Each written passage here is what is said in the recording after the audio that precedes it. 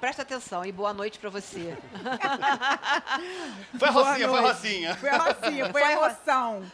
Pois é, a gente vê dois desfiles desses, a gente fica pensando, né, Ludmilla? Se, se não fosse dentro dessa, dessa regra que ganha uma em cada dia, imagina essas escolas de ontem que tiveram que desfilar debaixo de chuva, muita chuva. Como é que elas iam concorrer com uma rocinha que entra seca, bonita, com, com, com, com gás, sem nada pesado? Não é possível concorrer. Não tem como mesmo concorrer.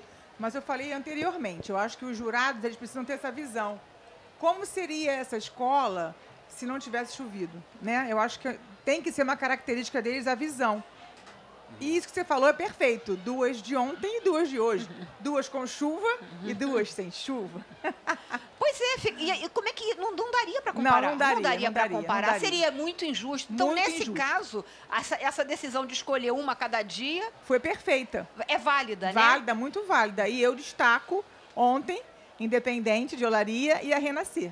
Foram Que- as melhores para mim. Passaram muito bem, né? Muito bem, muito bem. Quer dizer, com chuva, com tudo, elas empolgaram. Superaram, superaram a chuva. Vladimir, a gente veio falando, né, que escolas da Zona Sul, né? Rocinha, a Alegria, e vai chegar uma terceira também da Zona Sul, né? Quer dizer, aquele pedaço ali do, do Rio de Janeiro, miolo tá muito bem samba representado. no pé, Copacabana, Gogó, São Conrado, exatamente, a, Vi- a exatamente. Vila Rica é da ladeira dos Tabajaras. Exatamente. Isso, isso. São comunidades muito bem representadas. Mas eu diria que depois vem Pilares, que é minha região, vai representar muito bem Caprichosa. também. Ah, você tá de olho na Tô, Caprichosos, tô. Eu né? sou oriunda de lá, sou moradora da região e sou apaixonada pela Caprichosa. E você sabe que tá todo mundo com saudade, porque aquela Caprichosos que marcou tanta época com ironia, de crítica, crítica, né?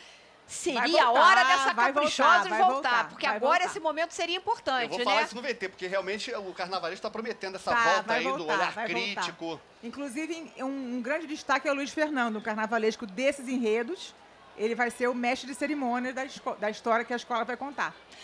Mas vamos lá na dispersão, isso, porque vamos a. Priscila tá lá, acabou de passar a Rocinha. E aí, Priscila?